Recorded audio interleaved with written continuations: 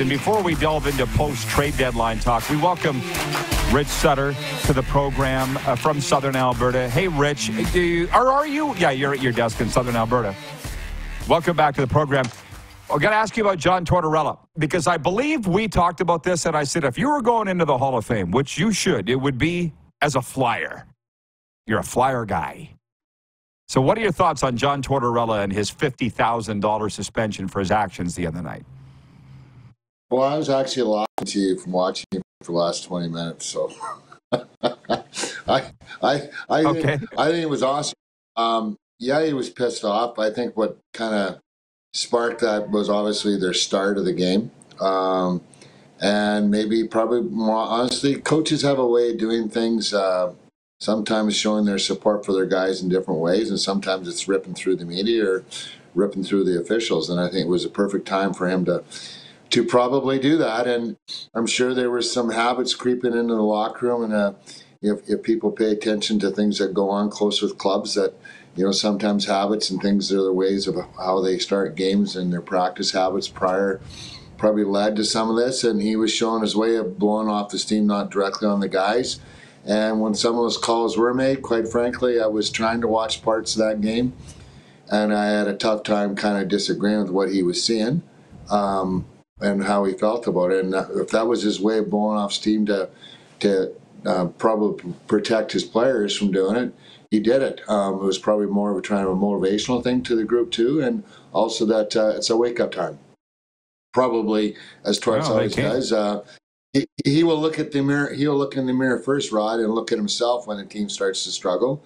And what what am I doing wrong? What I need to be better? And and if this was a bit of a wake up call, uh, fifty thousand dollars, so be it. Like Dan Hilferty, the president of the team, said uh, he didn't have a problem with it. Like like uh, Moose said, he probably didn't think it was going to be quite fifty thousand dollars, but uh, Flyers have got lots of money, and so they'll stroke the check.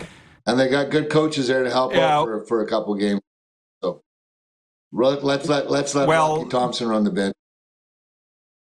Oh yeah, what the medicine hat tiger, great. Well, they came in a sunrise and beat the Panthers the other night and looked real good doing it. But I guess if I was asking you, do you like John Tortorella or not? Yes or no? You're voting yes.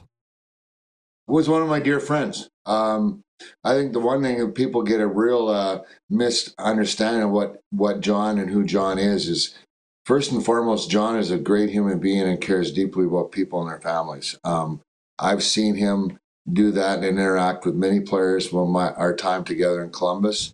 Uh, obviously, there's always one or two uh, guys that have a problem with it. Um, hey, you know, we this this uh, NHL thing stands for just not the National Hockey League. It stands for a lot of times, and if you go through internal email on every given day, that over 32 teams, it also stands for the Never Happy League because there's always one or two guys that have something to, that's got a beef or a complaint about something, and uh, uh, you know that's how this this league works now, and and how these guys as players operate. I'd say 99% of them is that some days they can't even be looked at sideways because they think their feelings are being hurt. So.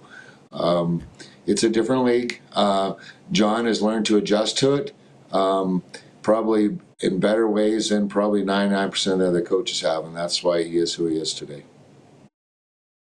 Ah, well said. And he needs supporters like you. Like I said, I've never met him.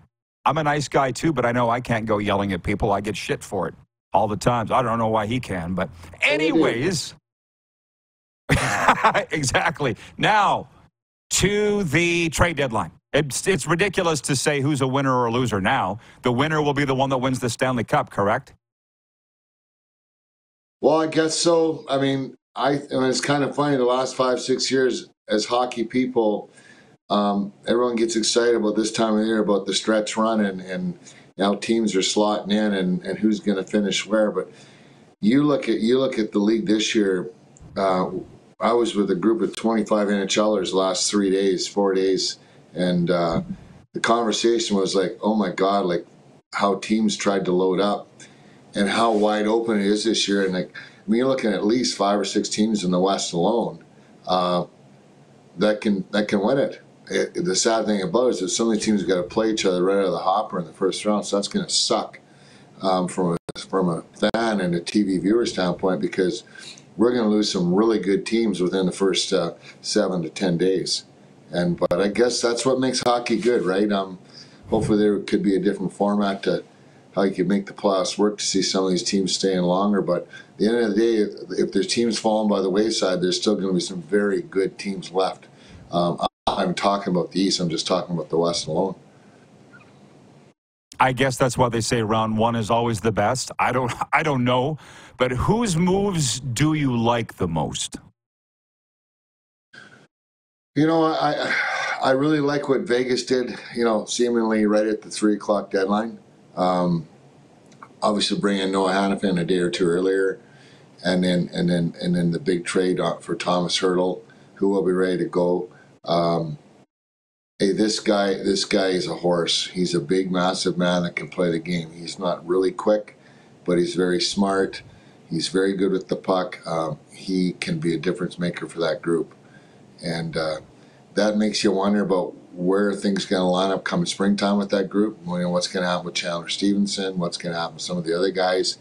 Uh, because it, they've got some serious cap issues that they're going to have to address. But Kelly seems to be smarter than everyone else, so he'll figure it out. Um, and so you look you look at them, what they've done. I think was terrific. But You look at the little smaller pieces that even Colorado made. They made four moves, but every every every move they made was meant to help the bottom six part of their group up front. Um, and I thought they slotted those guys in really well. Well, three of the four, and then the Mittelstadt will be a terrific, I think, second line guy.